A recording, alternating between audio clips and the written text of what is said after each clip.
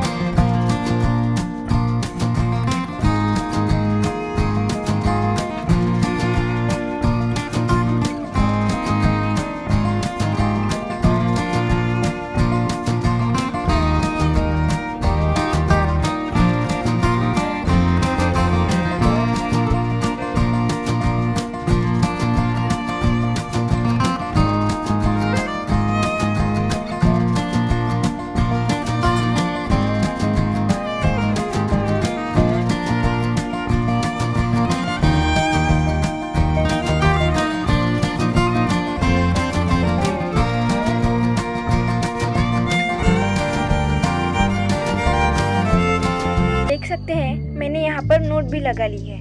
अब ये मेरी पूरी तरह से राखी बन चुकी है। देखिए। दिखने में कितनी सुंदर लग रही है। आपको हमारा वीडियो कैसा लगा कमेंट सेक्शन में कमेंट करना मत भूलेगा अगर आपको ये मेरा वीडियो पसंद आए तो लाइक, शेयर और सब्सक्राइब ज़रूर कीजिएगा।